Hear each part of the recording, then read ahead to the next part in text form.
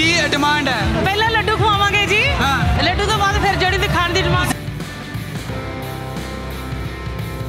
ਨਾਨਕੇ ਹੋਰ ਕੀ ਲੈ ਕੇ ਆਏ ਨੇ? ਦੋਤਾ ਤੁਹਾਡਾ ਦੋਤਾ ਹੈ। ਖੀਰ ਖੀਰ। ਅੱਛਾ ਨਾਨਕਿਆਂ ਦੇ ਘਰੋਂ ਖੀਰ ਆਈ ਹੈ? ਫੁੱਲਾਂ ਦੀ ਵਰਖਾ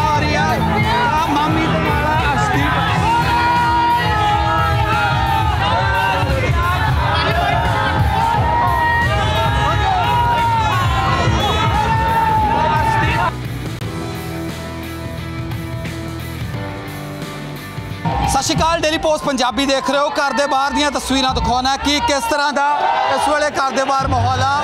ਤਾਂ ਇਹ ਘਰ ਦੀਆਂ ਤਸਵੀਰਾਂ ਨੇ ਦੇਖੋ ਲੱਡੂਆਂ ਦਾ ਭਰਿਆ ਥਾਲ ਤਾਂ ਕੇਕ ਦੇ ਨਾਲ ਜਿਹੜਾ ਸਵਾਗਤ ਆ ਉਹ ਕੀਤਾ ਜਾ ਰਿਹਾ।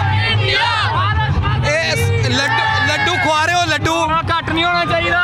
ਨਹੀਂ ਨਹੀਂ। ਕੀ ਹਾਂ ਹਾਂ। ਐਂਟਰੀ ਤੋਂ ਪਹਿਲਾਂ ਕੀ ਡਿਮਾਂਡ ਹੈ? ਪਹਿਲਾਂ ਲੱਡੂ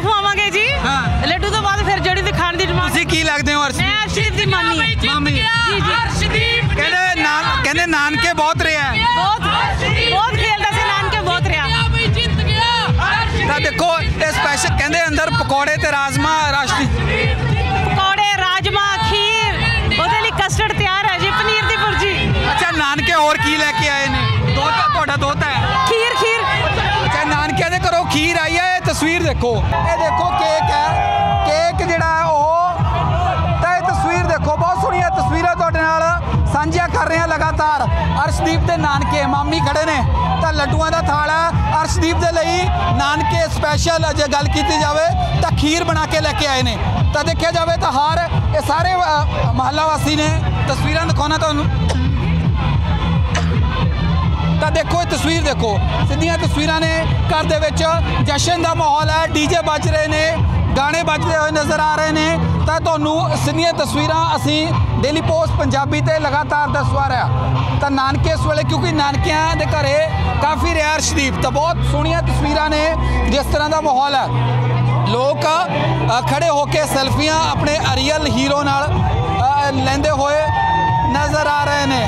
ਤਾਂ ਕਾਫੀ ਖੁਸ਼ ਜਿਹੜੇ ਨੇ ਉਹ ਇਸ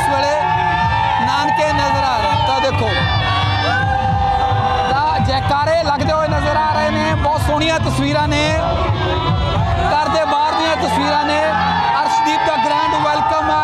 ਉਹ ਜਿਹੜਾ ਕੀਤਾ ਜਾ ਰਿਹਾ, ਤਾਂ ਸਿੱਧੀਆਂ ਤਸਵੀਰਾਂ ਤੁਹਾਡੇ ਲਈ ਜਿਹੜੇ ਨੇ, ਉਹ ਉਹ ਨਾਨਕੇ ਜਿਹੜੇ ਨੇ, ਖਾਸ ਤੌਰ ਤੇ ਭੰਗੜਾ ਪਾਉਂਦੇ ਹੋਏ ਨਜ਼ਰ ਆ ਰਹੇ ਨੇ। ਤਾਂ ਇਹ ਬਹੁਤ ਸੋਹਣੀਆਂ ਤਸਵੀਰਾਂ ਤੁਹਾਡੇ ਨਾਲ ਸਾਂਝੀਆਂ ਕਰ ਰਹੇ ਹਾਂ।